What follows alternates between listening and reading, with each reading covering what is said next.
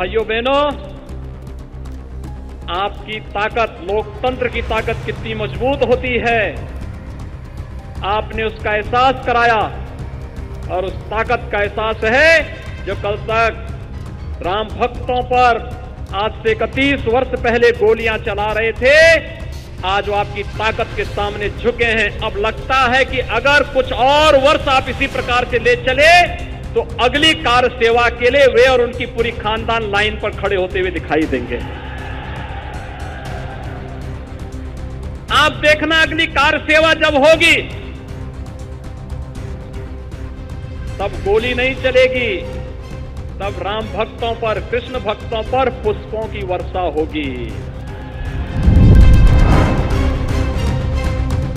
किसी अपराधी और किसी माफिया की हैसियत नहीं।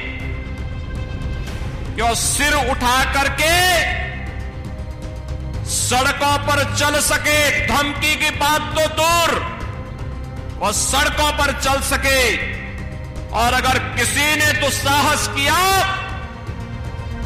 किसी व्यापारी और निर्दोष नागरिक पर गोली मारने का दुस्साहस किया तो गोली उस व्यापारी और उस नागरिक पर तो नहीं लगी, लेकिन उल्टी उसकी छाती को बेचते हुए उसको दूसरे लोग की यात्रा को भी भेज दिया गया।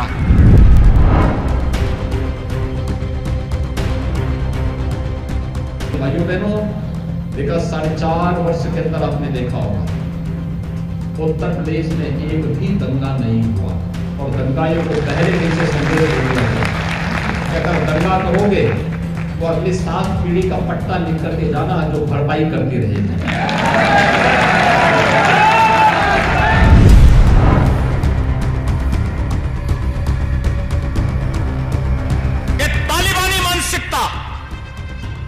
नहीं स्वीकार होनी चाहिए। कतई नहीं होनी चाहिए। ये मध्य युग में समाज को ले जाने की कुछ सी चेष्टा है।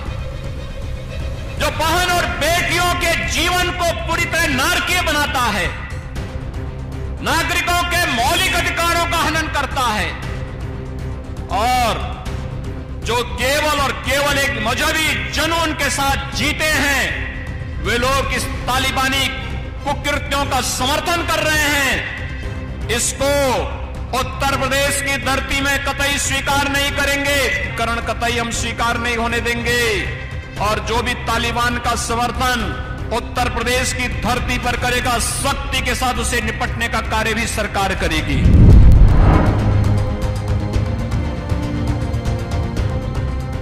जब मुजफ्फरनगर में दो निर्दोष नौजवान मारे जाते हैं। तब लोगों को जाति नज़र नहीं आ रही थी। जब वहाँ पर निर्दोष हिंदुओं के घर चलाए जा रहे थे, तब ये जातिवाद की राजनीति करने वाले, तब इनको जाति नज़र नहीं आ रही थी।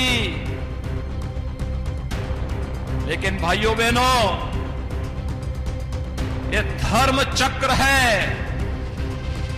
इसी के लिए कहा गया है, धर्म चक्र प्रवर्तनाय की बात इसीलिए कही गई है।